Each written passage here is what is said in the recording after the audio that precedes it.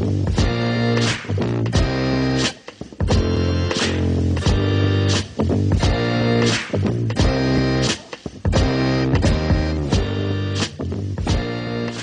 howdy. How's everyone doing? We doing good? Were you asking the listeners? You know, sometimes I'd like to think I'm live when I do this show, and it helps. Well, no, I was just curious. I didn't know if you were talking to the room or the listeners. I was It's- just putting it out there in the universe. All right. You know how it goes? right, yeah, yeah. Being someone who's live in radio, that's what I do on the weekends. That's what I'm used to. This podcast, it's just, you know, a shell of what this can be. And what this is now, though, is the Center Ring, your favorite esports podcast. Is it because there's only like four of them? Maybe. But we're not going to look at that. TCR for short. Our website, tcr.gg. Check it out. You have all the past shows, uh, YouTube links, every link's there. But we are the Center Ring. This is episode 22 coming at you live, pre recorded from an undisclosed location. The date, March 1st, 2016, a little past 9:30 p.m. Central Standard Time. My name is Tim. The gentleman you heard earlier, he is Brandon. Brandon, how are you today? Good. We're starting a little bit late today, but it, We're starting it was, late, It was because of that awesome late. show prep that we just put in. Um, I've noticed prior to us actually trying to set a schedule, we actually showed up here every Monday around 8 o'clock and did the show. Then we set the schedule to get YouTube ready. and now it's like And now Wednesday. we, yeah, you know, let's do it tomorrow. You want to do it today? Well, you know, traffic's going to be bad downtown near the station, so let's not do it then. And because we are right next door to a stadium, so it just sucks to Anytime there's a game, to fight that traffic. It's like, you know, I don't get paid for this yet. yeah. Let's uh let's move it till tomorrow. Yeah. No one's gonna no one and you know what? No one ever messages us saying, Hey, where's uh where's episode twenty two? So not like it matters at all when we do this. yep. No one cares when we record. But nonetheless, we are here and it's not going to damper the show at all. In fact, this is probably the best episode yet. Episode 22. We will always end with the micro, a series of some stories that just did not have the meat on the bone to discuss. Uh, we will also bring up Dota 2 Shanghai, the the horror stories that are coming from the the pool play, the first week of that Dota 2 major that everyone was so amped up for and and where is it going and why the gameplay is actually not the main story there. Uh, we want to dive in a little bit to Visa talk. And don't tune out the second you hear that. Because in esports, there's a lot of uh, international play, if you will, to say the least. Lots of traveling, meaning lots of passports, lots of visas needs to uh, they need to get approved. And uh, we had a little controversy in the last couple of weeks on that, so we wanted to kind of look at that, look at it from a um, I don't know if you want to say devil's advocate. I don't. Yeah, that was really your research project. It's is not. it? It's not devil's advocate. It's it's looking at it from a research standpoint. I mean, looking at the numbers. yeah, it's That's what we are doing. completely objective look at it. Yeah. Okay, and that's what we do best here at TCR is objective look. Uh, but to start the show, I want to start with M- the MLG qualifiers for the MLG Major that's happening uh, here in about four-ish weeks. Actually, it's fastly approaching. Yeah, I actually got the The- email about our flights being around the corner. So The bags are packed. You know, I have an email from DreamHack that we have our tickets, and I need to print those out because Lord knows I'm probably gonna f that one up. So it's right around the corner. You had the qualifier this weekend. Good luck googling anything on it because there are no really articles on it. It's like it happened and forgotten. I, I, I don't know what, why the lack of love for the the MLG qualifier. I, I tweeted at the score esports this morning because I was like, oh, I'm going to read some of the articles I've got up. We're going to talk about it on the show tonight. And uh, they were a major sponsor for it all over the desk and everything. And n- nothing. They have the last story was Splyce replacing one of the teams. They're already all they've already moved on to IEM. Which, to be fair, it, it is a that's an actual tournament with a prize pool. So I mean, I guess priorities, but at the same time, if you pride yourself as being news outlets, and I'm not just talking about the score, anybody out there, Yeah. how MLG's own website doesn't even have anything on there. Yeah. It still says qualified teams, and it shows like the normal eight that were there, and then the you know top eight for qualifier. It's ridiculous, but I don't want to get bogged down on that because it actually was an amazing weekend of Counter Strike Go action. Um, I don't know how you want to break this down between groups, between what comes to mind, because Group A, I guess let's start with Group A because I this is one thing that came to mind. So G2 and Flipside qualified from Group A. That wouldn't have been a surprise if Tempo Storm didn't look so strong in the previous weeks or the prior weeks coming to this tournament. But Flipside actually did end up beating Tempo Storm in a, a best of two, fair and square. Or I'm sorry, they beat them two in a best of three. I guess a best of two would just be a single elimination, but but whatever. So Tempo Storm is actually not going to be at MLG. Somewhat of a surprise, just given their track record as of late. yeah, when they rolled through that qualifier, um, to You actually the, the, confidence was high. the either they rolled through the qualifier for the qualifier, um, and then come in and put up 13 rounds against G2, which you know that's, I'd say it's a solid it's a solid performance. It's uh, that's still you know the G2 lineup that has a decent reputation behind them with you know um, ex Titan, um, absolutely rolled over um, Selfless Gaming 16 to four completely understandable. That's what you should do. And then they didn't manage to take a, a map against Flipside, which is kind of, I mean, that was the game that mattered. And it, it was kind of a letdown after strong performances throughout the rest of the, the tournament. And it's weird that they would play better against. Well, maybe it's not. It's because they played better against G2, a team that they kind of knew who they were going in.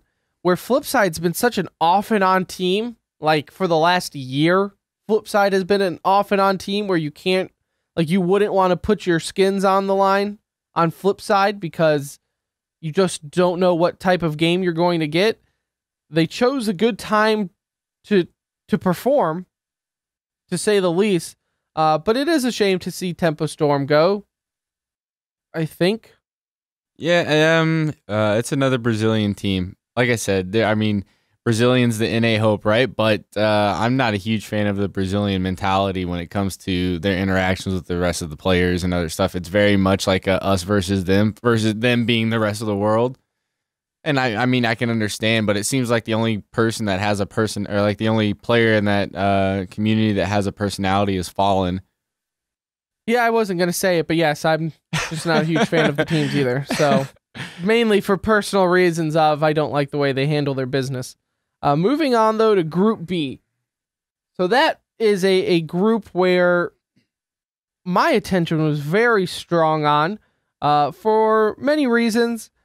Um, first off, you have mousesports, Liquid, Hellraisers, and Team YP. I was very interested to see Team YP not only because their their media relations team manager lady Claire is an angel and she will answer your emails back very quickly. But they had visa issues. They actually had two guys not being able to make the tournament, so they had to get some sub-ins and last minute adjustments for their team to be here. And I think it, it would have been awesome to see them. I don't think even if they had their full roster, they didn't pick up a single game here, and in fact, their round dif- differential was the worst at this entire tournament with a minus 29 round differential. So, They they won two, I don't think replacing two people is going to change that. No, they won three three rounds total, um, throughout the entire tournament. And yeah, I don't think. Uh, granted, um, one of those players that had to sit down was uh, or wasn't able to make it was considered one of their best players. But yeah, what are you? I mean, what are they gonna do? Pick up another two rounds? I mean, when you have guys like mousesports, which is, you know, Germany's pride and joy, I think they were going to go in.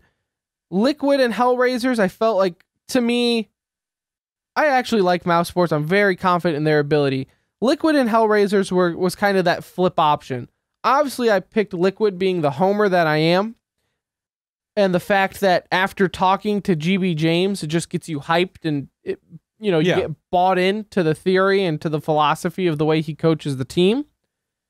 But watching Liquid perform throughout this entire weekend was absolutely amazing. Like this is only a qualifier. I get that this is a qualifier to get them to the tournament. So, I mean, they're they're nowhere near where they want to be. Obviously, this is a step in the right direction, but at the end of the day, this got them into a tournament where they probably would have liked to just not even have played in the qualifier to get into and just gotten the Getting invite. invited, yeah. So, and that's one thing that you need to bring up the fact that like all of NA's top teams were in this qualifier. and None really were able to skip it and be just invited. So that's one thing that I felt like kind of got lost on the weekend, other than just being a punching bag of NA jokes from every other commentator out there. So, but let's not respect the tournament or anything. Uh, Liquid, getting back on there, they ended up. Who who was their best of three against? Hellraisers. Right. So they they played Hellraisers twice. The first match they played in the best of one, it went to overtime against Hellraisers, which uh, they ended up Hellraisers ended up winning twenty two to twenty. Then they played the best of three against Hellraisers, um, which had the final game that was the epic comeback from thirteen and seven. Six, I Is believe. six? I believe it was 13 at Six? I don't have the numbers in front of me. I believe it was 13 at 6. And I remember because I was texting, me and my buddies were all texting each other saying, like, "W- is this really how it's going to end? Like, is this seriously how it's going to end?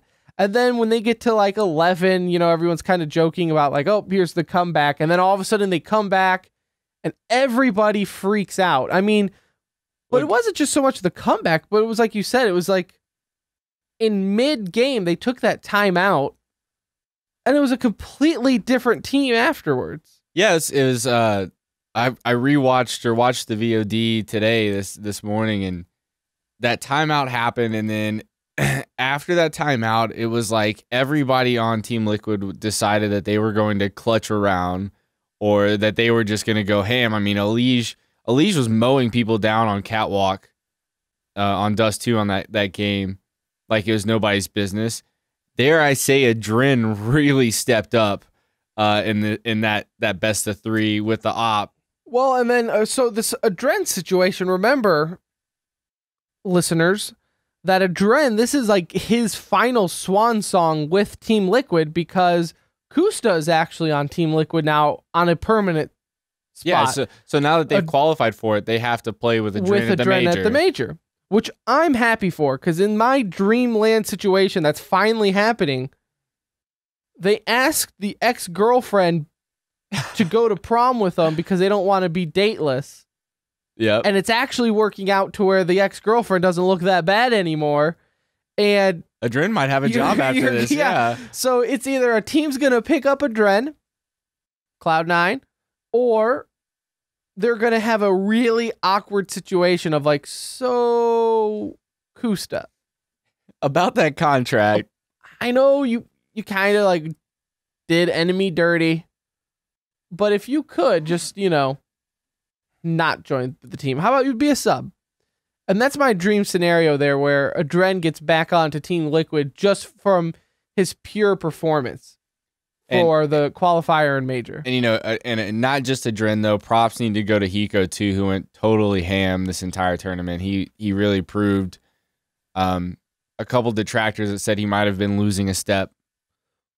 Well, I think the that and that's kind of the funny thing is that this is the tournament that everybody was waiting for for Team Liquid, where you see that light bulb go off, the mature point happen, where everybody's all of a sudden like something felt different watching them. Like you said, like Nitro, there was a mixture of in-game leadership going on throughout the whole weekend with them where like sometimes Nitro was doing it and then you would, you know, Yep. he would pass it over to Adren and it was more I think like a a teamwork kind of deal of hey, what do you think the best strats are? I think that was more or less what it was is Nitro opened up and I think we get caught up on like the the roles and everything in Counter Strike. It's not like a normal position sport where a lineman just cannot be a quarterback. Not not that will never happen where a lineman just is a quarterback for a day.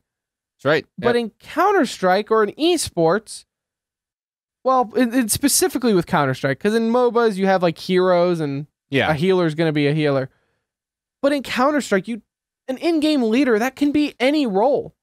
What what is it dictating that one person is to call all the shots? Why can't it be a dictatorship for a team? you know, and and uh, there there was a particular round in that Hellraisers Liquid game uh, that, uh, forgive me, one of the Liquid players got a kill with a nade, so he had um, a few extra dollars, and they were able to afford one rifle, and everyone knows on Team Liquid, he goes the lurker. He's the guy that's finishing kills, does the clutches. That's his deal. But you also have s1mple on this team now, who is I would say a world renowned, you know, rifler in his own right.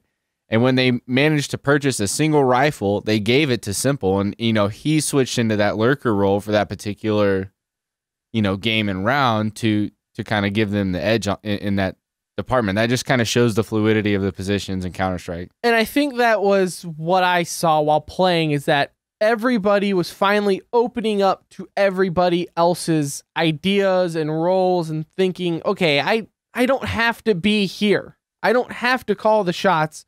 We can all five work together on this. And I think just watching go back and watch the VOD and I you can almost see in that timeout that's what clicked. Yep. So I think it was just a a, a full on wave of understanding of just completely buying into the system. So it's it's a shame thinking that this could be just like a, a swan song for this form Yeah. of Team Liquid. It sucks to see him do so well, It's knowing that it's going to change. Right. And it's almost like, man, if it does do really well, do they have to change? Because I know going in, like some people are like, well, are they even going to care? Is Adren going to care? This is a qualifier for a million dollar tournament. I think he's going to care. like, Yeah. not to mention, he still also needs his his career, so he can't just throw in the towel and purposely throw these games if he ever wants to get picked up again. That's not going to happen. So you had all that going on. Meanwhile, on the other side of the the NA pillar, you have uh, Group D. That consisted of Dignitas, Renegades, Cloud9, and Gambit. Gambit was actually they I believe they just started back in January. Don't know the exact date, but I believe it was started in January. They are basically the former Hellraisers roster. So for those who didn't know where this team Gambit came from that was actually playing really well, they ended up qualifying. Um, Cloud9 also ended up qualifying very, very dramatic fashion. If Cloud9 can do it any other way, um, they ended up qualifying. Actually, the only team to qualify with a negative round win loss ratio. They actually ended it with a minus two round differential. So, but it doesn't matter. They qualified. They got in there with Stewie2K, with Freakazoid, with the gang there. There's still talks of where they just need more coaching. They need they need what happened to Liquid. They need to buy into the system because I still think watching them I don't I don't know what it is. Just watching Cloud9, sometimes it looks like they become so unfocused and if they're down, then it's really just a hodgepodge of everybody shot calling and doing every like everyone's doing a little bit of the same strategy and then a little bit from this strategy and they're just not on the same page almost like they're giving up Yeah, well, it's especially with the Sean Gares leaving. There's a lack of leadership in that uh, you have people kind of, uh, from what I've heard, there's different people calling at different times. And when you start separating the leadership like that, it kind of leads to it kind of leads to eh, like a, you know everyone to each their own kind of mentality. I think, and you'll see players doing things that are like it would benefit them, but it won't necessarily benefit the team's round or what what they need to be doing. And Renegades was also in this group.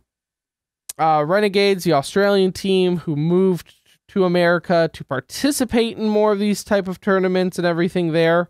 Um, they ended up going one and two for the tournament. They did not end up qualifying.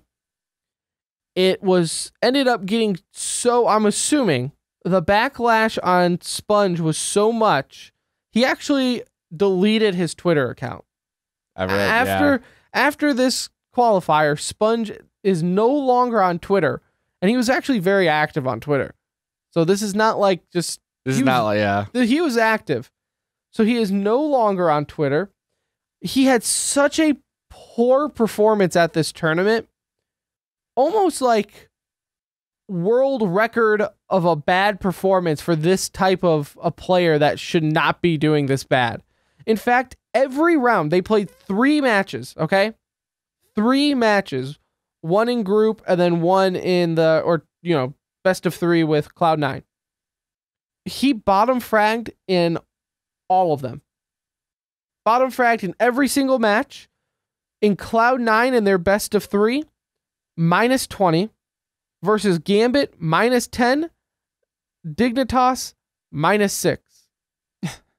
I mean, he, awful. Awful, awful, awful.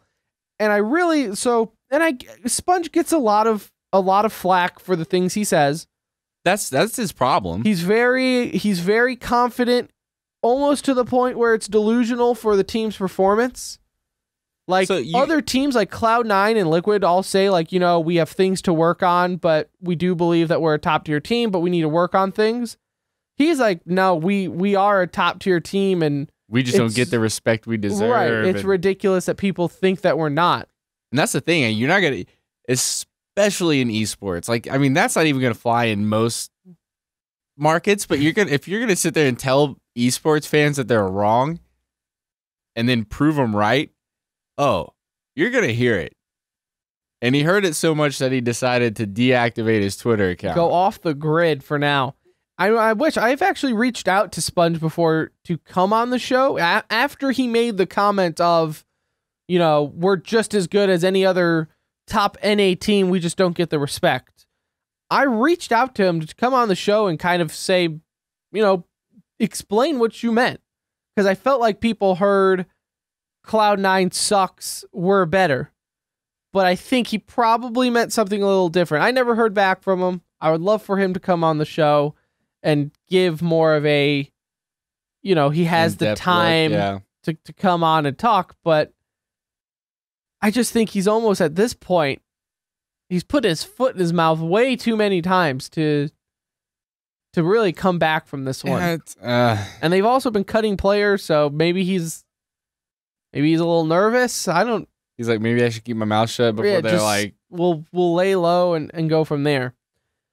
Uh, Group C, you had actually two uh, North American teams qualify. Actually, in all this tournament, the only North American team that did not qualify for this uh, was Selfless, which that was like koosta's team. It was basically like ex enemy. yeah, Uh, so, and I think they were out of it.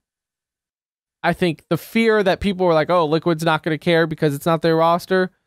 I think they were almost just like, "Let's get, let's get this over with and go home."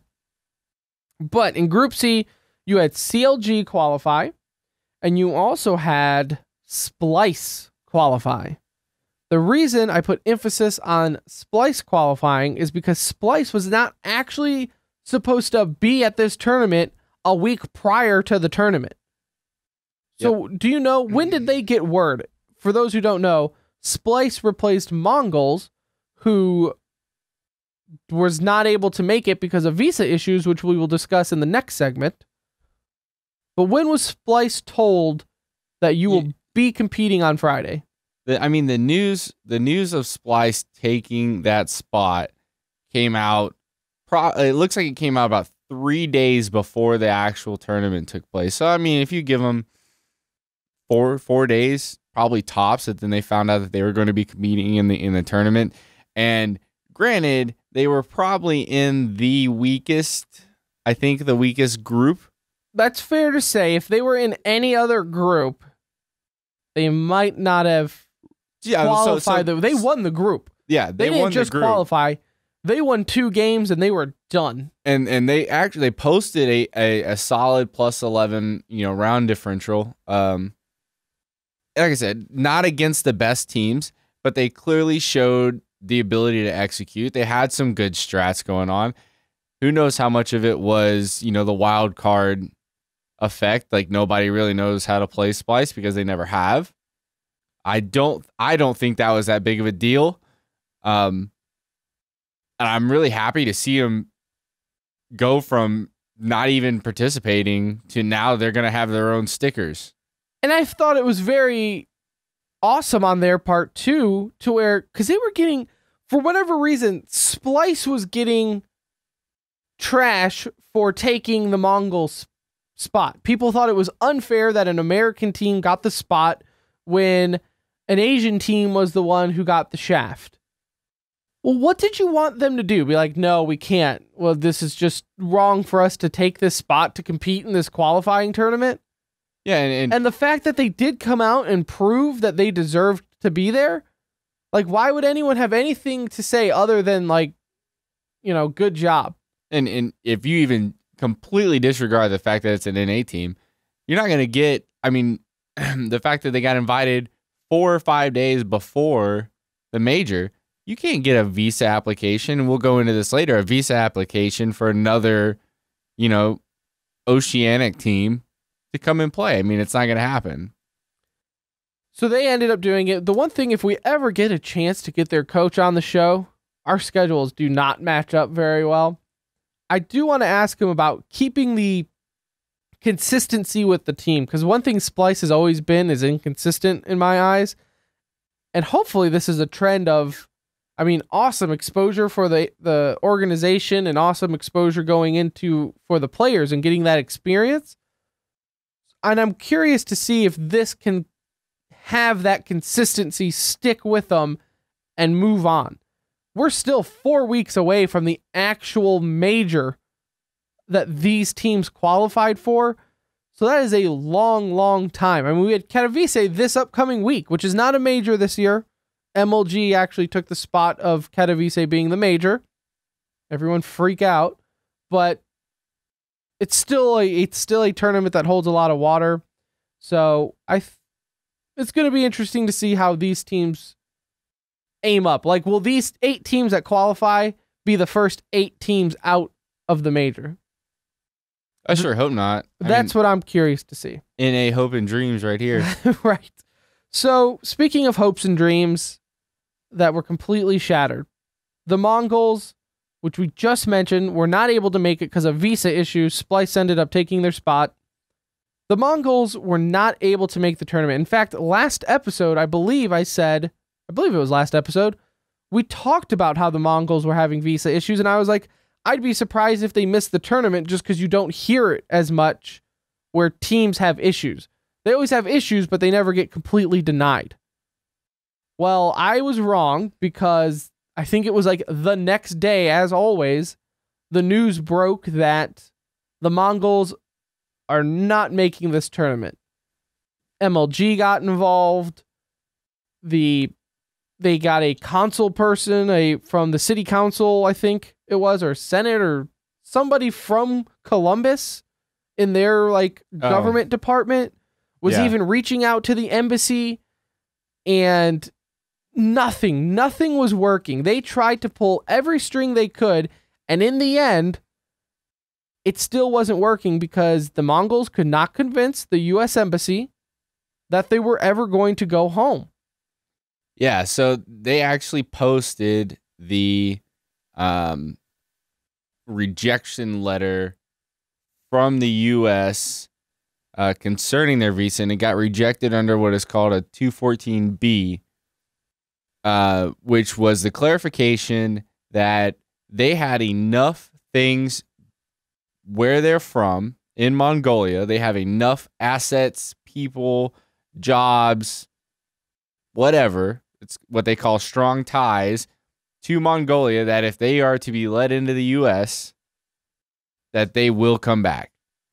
So the the danger being that they get there and then they just stay illegally stay in the US um, and never leave.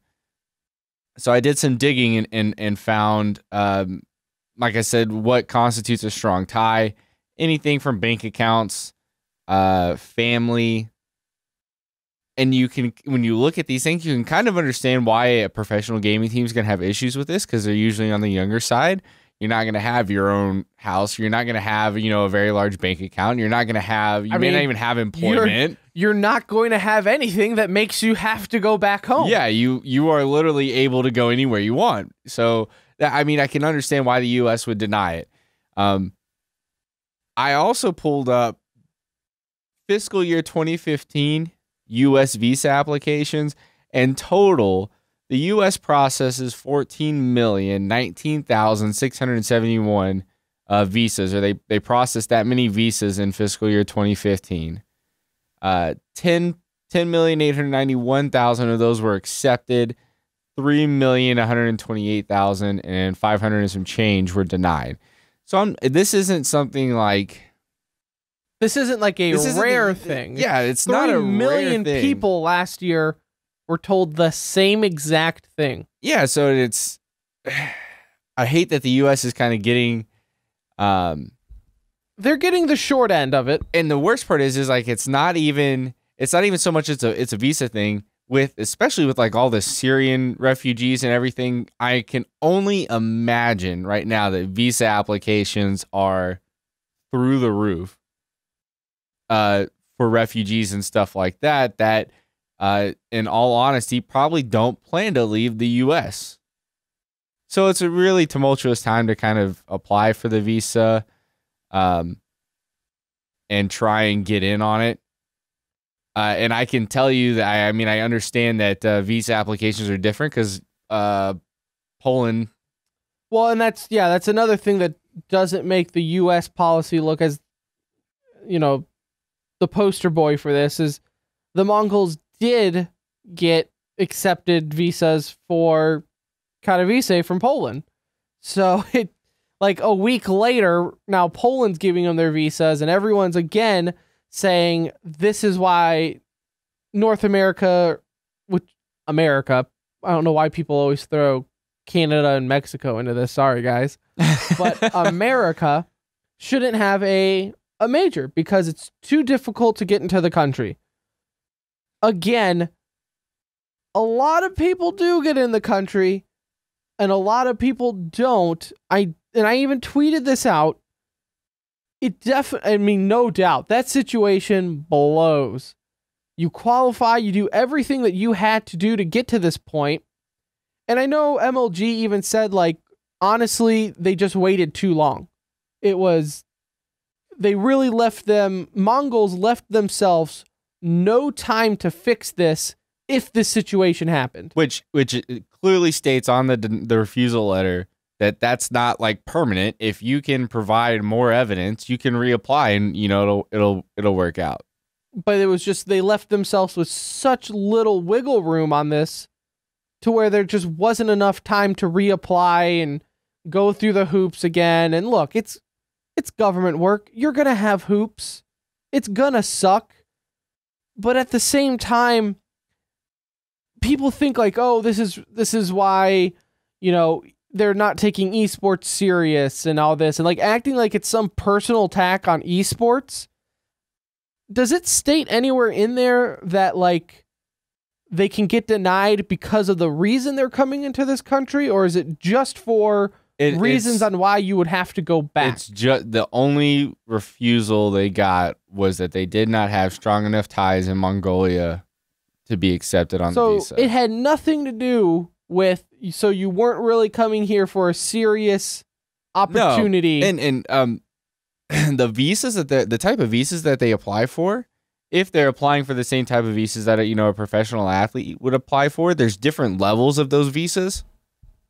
The top one being what is considered um, someone of an extra uh, extraordinary ability, who is described as someone like Wayne Gretzky or Ronaldo. That's the top level visa.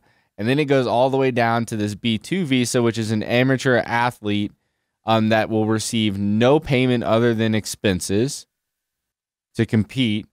And then the one step of that is um, players that will receive no salary other than prize money. So, I mean, that's kind of where they would apply. And I, I have to imagine, again, there's a pecking order with with, I mean, with the levels. There's absolutely going to be a and they're and they're one step above like a you know like a, a, a high school basketball or like you know a traveling basketball team coming from China to I mean, play an ex- exhibition Yeah, match. they're they're a club team. yeah They're a club team going to this tournament. So there's absolutely there has to be a pecking order involved when you think of the I mean how how many did you say applied last year again? oh what was it uh 14 14 million. million yeah 14 million So out of those 14 million, there are going to be as much as this sucks, but life isn't fair. There's going to be some people more important than other people who probably have more pressing matters to get into the country for. You know, an Olympic athlete coming in town probably is going to take priority over you know, a, And- a and high you- school team or in this case an esports athlete. and and what's uh ooh that's interesting. Um looking at the B2 visas which is the level of that visa that I was telling you about that you you earn your prize money um it looks to be one of the few where there's 140,000 of those particular visas applied for and more than half of those visas got denied. 77,000 of those visas got denied. So there's there's that's an even bigger chunk of people being told no you can't come in here for that S- So that ca- yeah, it's so and that's what again, that's what they're going for. That's the type of visa and that's not anything on their own fault. I mean, that's that's the type of visa, that's where esports is at right now. Now, I think correct me if I'm wrong and maybe you don't have this in front of you, but didn't France they recognize esports as an official sport. So if the government recognizes it as something not just a prize pool type of sport, Yeah. that that will Yeah, obviously help visa issues. I want to say it was four months ago. France um, passed legislation to recognize esports as an as an athletic, like an, an actual sport, So they can so go they can do these for type of those things. visas and it not be Yeah, a complete pain in the ass to try and get them as more or less quote unquote civilian. So I th- I I think that's I think that's going to be everywhere eventually. I honestly do. Uh, I think esports is becoming big enough. I think you're getting corporates into esports, which corporate drives tell you Money if and money Coca-Cola- If Coca Cola would have been like, "Hey, U.S., you need to let the MongolZ in," they probably would have done it. it, it, and that's true though. Commerce drives everything. Um, as dirty as it sounds, commerce drives everything, even even the government. So I think once esports gets recognized here as a professional sport, uh, then it might not be as difficult. But I did just want to bring that up on the show with visas to kind of show people that it sucks what happened to the MongolZ, but they weren't the first people to have their visa denied when they had to come here for something important, and they're not going to be the last. This is not, it was not a, a personal thing about, oh, they don't take esports serious and how how can they ruin these you know these guys dreams of of doing this? Don't they know that they're the first you know asian ocean atlantic team to do this and oceanic and oh man like no they don't know any of that. Because all they were looking at was why would these guys ever go home? And they couldn't even prove why would they go home Unfortunately, the U.S. say- government doesn't you take have a like an dog. "I promise" as, Right. a, as a valid, you know. and they have these rules there for a reason and that's because people didn't leave at Yeah. one point so that that's i hope we were able to shed some light as far as the numbers and how visas somewhat work in that sense Uh, but moving on to something that's actually having a bigger issue than the visas themselves, and that is Dota 2 Shanghai Major. The first week is actually over. The actual main event starts tomorrow, actually. Uh, that actually might be going on right now, depending on time zone difference. But during group play and pool play, it was, dare I say, a a disaster. It was a shaky start for the English stream, to say the least. So basically, if you're unfamiliar with it, but I'm sure if you follow it, you you clearly know by now. You almost have to follow it to know why nothing is going on on the stream. But the production team, Perfect World, well, really, how should I start this? So the production team, Perfect World, they're they were doing a very very shaky job on the English stream. The Russian stream that kept it fine the whole way through. Other streams kept it through. It was the English stream that was having issues. Uh, some of the rumors behind you know the curtain was it's because the director for it was Chinese, and so the director was speaking Chinese and then to a translator who would translate his orders to the production crew who was English.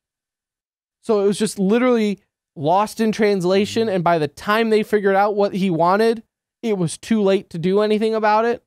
Like that, you know, this is basically live television. You cannot have delays in communication. It's needs you know, to happen. It now. needs to happen now. Um, all that was in the background. That that started from the start people could tell there were delays from the get go. There's shaky production from the get go. Everything was very obvious in that front. And a lot of people were saying that they shouldn't even hire him in the first place. Why don't you get an English crew for your English production team? I do not know. Flash fast fast forward a couple days to day 2. 2GD was being the host of this event. He was brought on to host the event. Day two, he was fired from the event, which caused a an uproar on Reddit. And again, I say Reddit because I was watching this and I'm not, you know, I don't I normally don't get into all the ins and outs of these types of tournaments as far as personality goes and history behind them and I don't have Reddit up all the time. But with these delays and craziness, you have to go there to because they don't tell you anything on stream. Nothing. Oh, absolutely you, not. You, you watch Counter Strike. There is no information given to you on these streams on why all of a sudden this host is gone and why are there delays.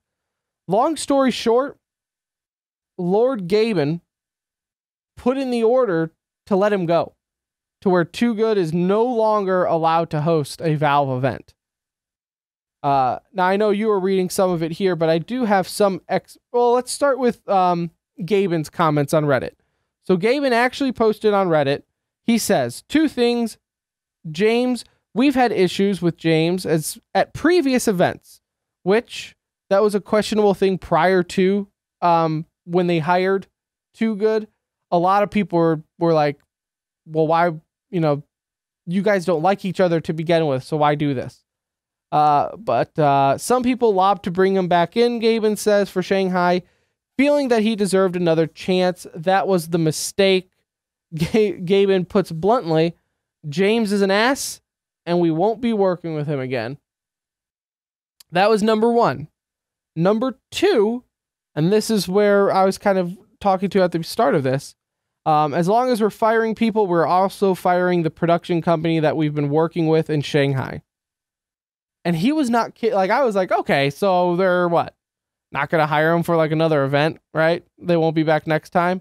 No, no. Immediately. Immediately, they fired the the production team in mid tournament. In the middle of a major tournament, we fired the the host who is leading every conversation that doesn't involve the game, and the production company who is literally putting this on for everybody. Gabe just said, "We are done." So it was so bad, he didn't even want to think of how they were going to do it afterwards. He was like, "We will deal with that later. We're done here with these guys." And it got to the point where I actually have some tweets here from uh, some well known people. TobiWan, he tweets out um, Gabe has decreed that KeyTV has been fired, meaning the English stream has no production team slash panel, raw streams only. So at this time, I'm sitting in my bed with the stream on my TV, and literally in between matches, there is nothing but like the splash screen for the Shanghai Major. That is it. You have no idea when the next stream's going to be, when the next match is, who's going to be playing in that match. Nothing. That production team pieced out, and they had nobody in there for a backup. So what ended up happening was all these like personalities that weren't invited to Shanghai basically got together in a chat room and they started doing like intermission shows on their own streams. So if you were an English, you know, viewer, that's what you had to do. You had to jump back and forth. So and then they would let you know when the games start, but then you would jump over to the game stream and then jump back over to theirs and everything there. It was a mess. It was awful. Uh, which is a shame because normally Dota 2 majors are ran so smooth, and this one was not that case. Uh, and then you even had uh, the capitalist said, uh, I believe the that means we won't be doing any panels today, but only casting the game due to production limitations. So, like, all these guys who are there basically calling these games are like, we don't know what to do. Like, we don't have, like, when we say, like, when you say you have no production, you think, like, okay, so what? You don't have a director. Who cares? Just, no, they had Yeah, you oh, you just gotta move one camera, just cut to the other camera. No, They had- uh-uh. nothing nada so that that was an issue in itself i'm sure with the main event everything's going to be fixed out maybe they just used that first week as kind of like a buffer week but we're getting down into the what i like to call the meat and potatoes of all this and that is 2GD's comments so you have some of his comments in front of you don't you Yeah, it's uh, he released a a very long statement So he, he he said he was going to release a statement, decided against it per the statement that was later released. He decided against it, but after Gabe's um, post, he decided that he needed to, I guess, put his side of the story out. Um, and it's long. It's 17 pages long. Uh, that starts all the way from when he was asked to do it. Uh, it has history about uh, when Gabe mentioned that um, they had worked with him before and didn't like it, and that other people lobbied. So it goes back into the history of of him with with Valve's tournaments. And there are several quotes throughout that kind of jumped out at me. Um, he maintains the position that he was told when he when he was hired that he needed to be himself and just do whatever he does. He was under the impression that many of the segments that he had were going to be about 15 minutes long and they ended up taking an hour or more. Now, in, in his defense too, because of those unexpected delays, like he he prepped material for delays, but not for like an hour delay. So in his defense, I could see where things kind of got wheels off and they were doing things on the whiteboard and things like that. I understand that. So and and this is kind of where I I end up getting I divide myself um from the rest of the esports community for my own stance on this that if if you're doing this as a job then you need to to do it like a job. I think we're And in the minority in that. and it's a it's a um it's a weird dichotomy because these people don't work for the company specifically. They're like contractors so they'll have a job for this tournament or that tournament or this tournament. So not only do they have a responsibility to the the people that have hired them for the tournaments but they also have a responsibility to the people that follow them on all the social medias and all and all of that um he opens the very first segment with a joke about how porn was blocked in China and he was needed to watch porn for his first pre-panel ritual. And I actually have the audio for that. Would you like to listen to it? It's Let's- about a let's minute. hear it. It's about a minute long. No one asked, by the way, how the host is doing ever. That's Ask typical. yourself. That's you're the host. Well, I'm doing okay. Yeah. I'm I'm glad you liked the intro. Um, I was a little bit worried that I would say something, you know, bad, um, because um, uh, normally, you know, I have like a pre-hosting ritual. Um, winter. I mean, you can probably appreciate this. Um, so last night, you know, I was perusing the uh, hotel entertainment, and um, you know, actually, you know, for the ritual to get ready for today, and it turned out, you know, censorship. The uh, Chinese hotel disab- had disabled pornography. So it was very hard to kind of get ready for the show. um, I mean, I mean, don't get me wrong. I watched it. Mr. Wang's amazing wheelchaired antics were pretty amazing. Um, a real thriller, and I did manage to finish. And I, you know, I'm here for the show today now. So Is this, know, the, is this the rehearsal, by the way? are, we, are we live or is this? Uh... it's just, you know, so I feel like I'm ready to host. You know what I mean? Like nothing's gonna hold me back, and uh, you know, I'm I'm here ready for some Dota 2. We've got some great teams playing. All right. So he starts that To be fair, it's it- not like that's a crazy. It's not. I wouldn't say it's offensive. That's not like some crazy off the wall thing. But if the expectations of your boss is that you're going to be PG and professional, then yeah, that's not the best thing to open up your your host to. Like that is the first thing you're gonna say. And the worst in my opinion as a host you know part of your job is to kind of create the atmosphere for the panelists and the analysts you know to to do their job which is to talk about the games. And i mean just listening to the response there's like a super awkward kind of like i shouldn't laugh at this. What do i say in response to this? kind of pause before he forced it to move on. And um he was told afterwards, uh, no more porn jokes. Uh, and apparently, this came directly from Gabe. So, the guy at Valve said, "Lay off the porn jokes," and his his rationale on it was that uh, he had to do something like that because he hasn't hosted in a while, and his fan base expects something along those lines from him. So I guess his fan base expects just kind of lowbrow kind of humor. Great. You got it off your chest. Your fan base is happy. Gabe told you don't do it again. Awesome. Don't do it again. Later on, he's hosting a segment that once again got extended 400% longer than it was supposed to be. An hour and a half from 15 or 20 minutes um, rolls this segment where they're joking around, and at one point they're even playing tic tac toe on this whiteboard that apparently everyone hated, or uh, everyone in the production hated. Uh, that they were, he was bringing down the production quality, I guess, for having a whiteboard. I I, I saw That's- the the rant. Whatever. Kind of made sense to me. yeah, I mean, he was doing stuff with it. At least it wasn't just like he had an hour and a half to Yeah. kill of delays. Like I'm surprised he didn't bring out sock puppets. So during this long delay, he makes a joke about um, seeing, calling them, one of them a bottom bitch from for directly from the quote. And this is what got him fired when he said that. Uh, and, and he said again, he had a rationale of, uh, it, they're personal friends of his.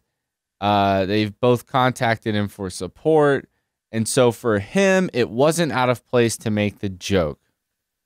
Now, isn't that one of the issues though? Is that he can't sep like, and Well, he even, he even goes into saying how, uh, he actually mentioned at one point, and this is what really threw me off, is that he's you know he states that, you know, I'm angry that we're pretending. This is all you know loosely quoted.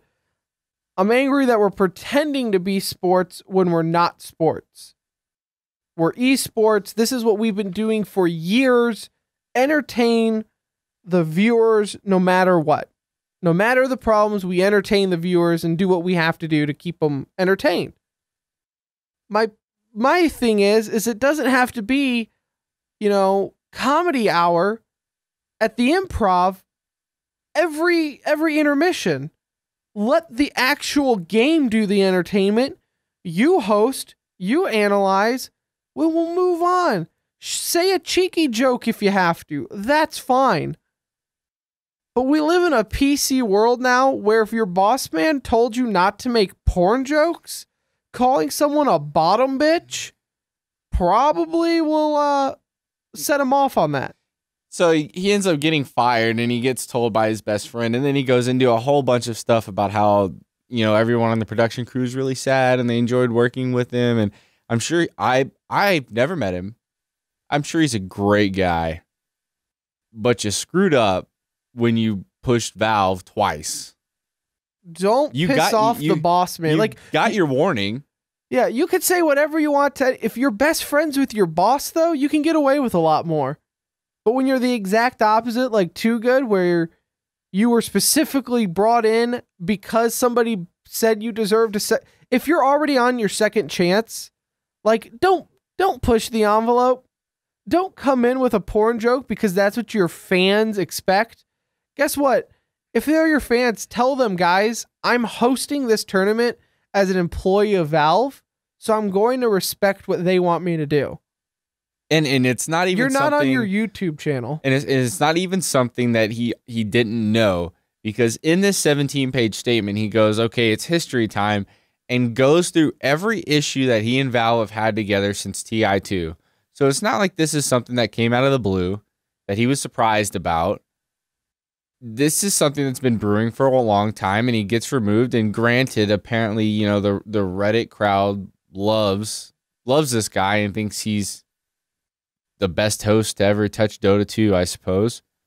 Um, but when you're consistently told not to do something, or you know there's an issue in the way you do something, you either change it or you get removed.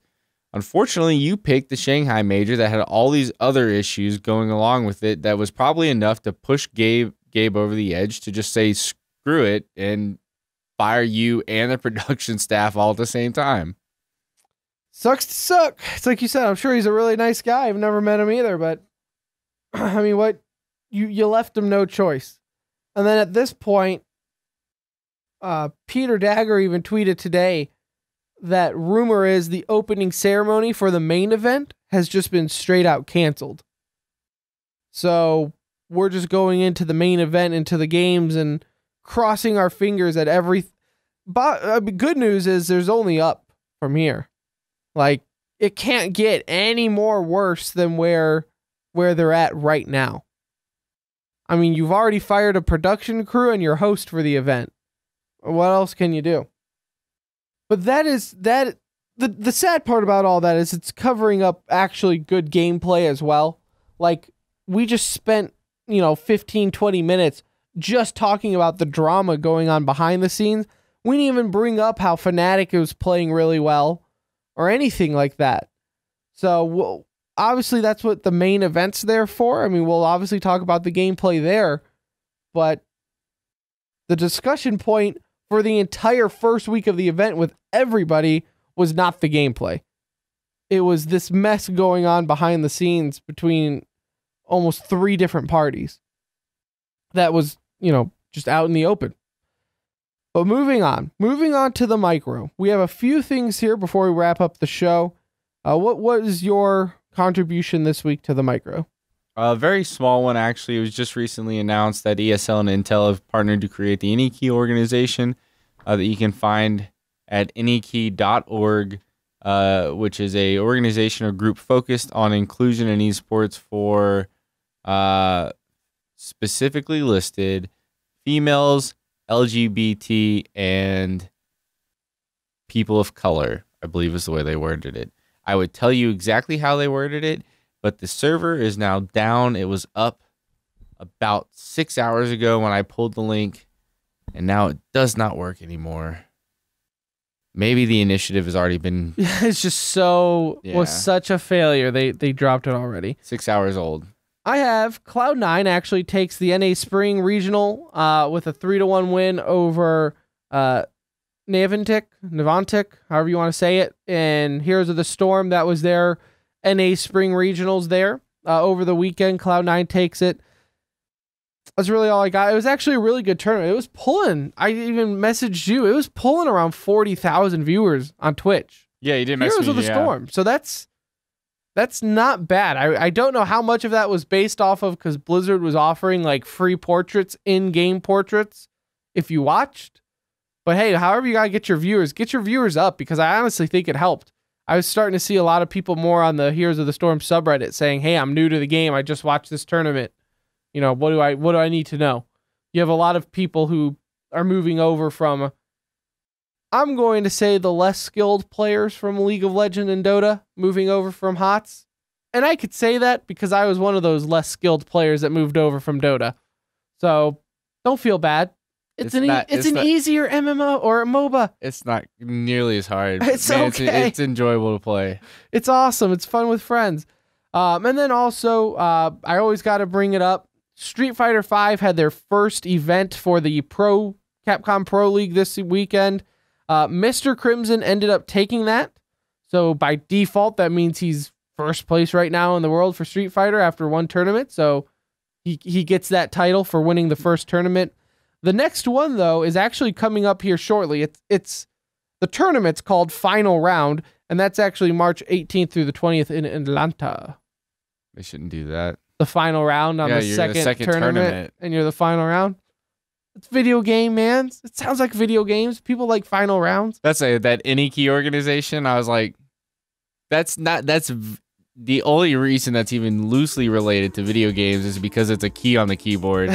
like it says press any key to log in or whatever. Oh, is that what that's on? Yeah, it's like I was okay. key. It, it I was just going with it. It doesn't even does not have any actual gaming connotation at all, other than it it had the logo is a keyboard key. Look, in a couple months, the E League is about to start. So Ugh. we've already decided corporate America is not the greatest at starting up Well, names. To be fair, they're like preteens naming their gaming clans. This is true. we were all there. They'll grow up. I mean, our professional team is called Operation Minty Hippo. For Still awesome. Still the best Still team. awesome. Well, that will just about do it for us. I thank you so much for listening. If you made it this far, if you skipped around, episode 22 of The Center Ring is done and over with. We will be back next week, Monday or Tuesday or such. Who knows? We'll see if we deal with fighting traffic that night. Check us out on our website, tcr.gg. Like I said, you can catch all past episodes there. Uh, you can check out our YouTube, which has all our past episodes there, plus some visual effects. If you wanted to just catch interviews with some people around esports, we have GB James, coach of Team Liquid CSGO, on there. Um, you could certainly check all that out on YouTube. But until then, you can always keep up with the show on Twitter at the Center Ring. I'm at Pirate Mushroom. Brandon is at Brand Any New. Yep.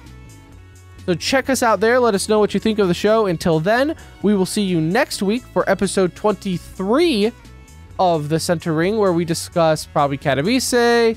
We will discuss Whatever. Shanghai Major. And whatever drama happens to pop up, because you know it's gonna be there. It's it's a week long until our next show, and esports always a lot of drama. so again, I thank you for listening uh, to the Center Ring, and we will see you next time. Drive safe.